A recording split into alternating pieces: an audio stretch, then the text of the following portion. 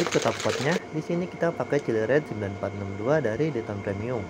Biar nggak kejauhan yang bikin cat kasar atau berasa kayak new all stock gak sih?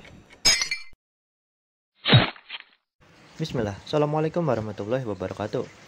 Lagi-lagi sama kita di Garasi Warna. Episode kali ini kita bakal restorasi lagi Dengan warna yang sama kayak sebelumnya. Nah, untuk motornya itu, ini dia.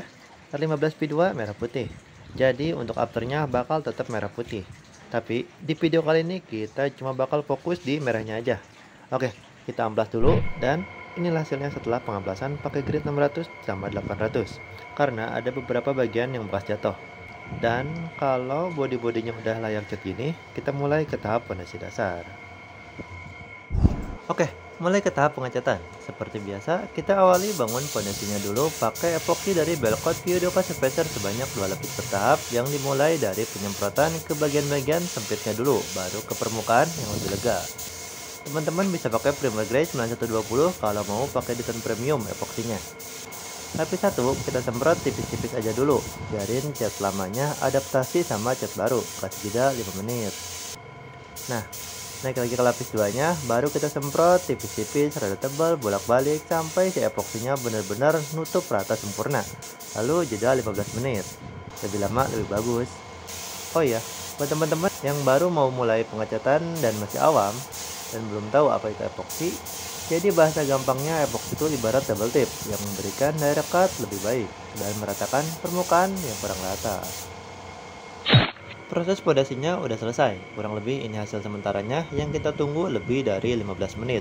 Malah 2 jam lebih sih karena udah kesorean juga dan kita break salat maghrib, makan, dan salat isya dulu. Jadi kita lanjutin malam-malam aja ya. Oke, kita terusin ke warna dasar. Oke, lanjut ke base coat sekaligus top coat buat pairing kanan kiri dan spakbornya. Untuk catnya di sini kita pakai Venta Super Gloss yang NC 0001 white. Teman-teman bisa pakai white 9102 untuk dasarannya. Semprot tiga lapis bertahap karena daya tutup warna putih itu agak lama. Lapis satu, kita semprot tipis-tipis dulu kayak epoxy tadi, jeda 5 menit.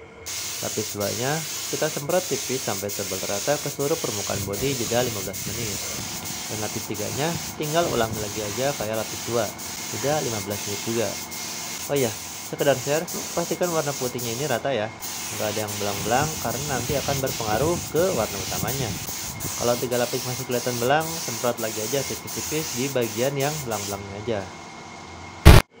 Proses warna dasarnya udah beres sekaligus jadi warna utama buat fairingan kiri dan spakbornya nggak bakal kita timpa putih mutiara lagi karena request owner minta dibikin putih polos aja.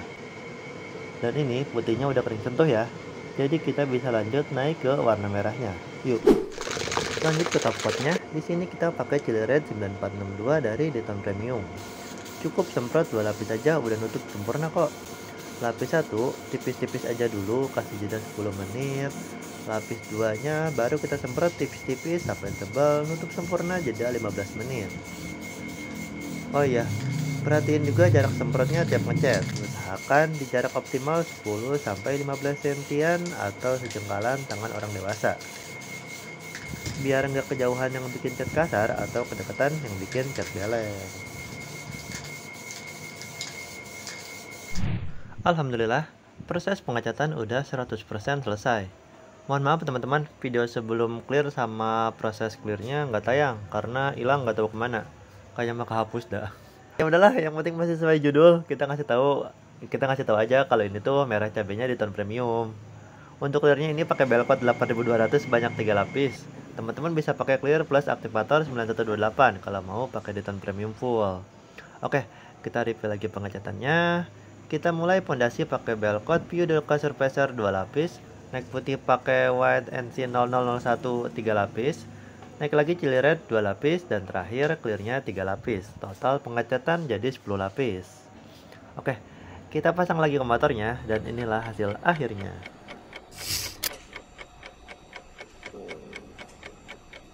Alhamdulillah, amanah udah 100% kita selesaikan.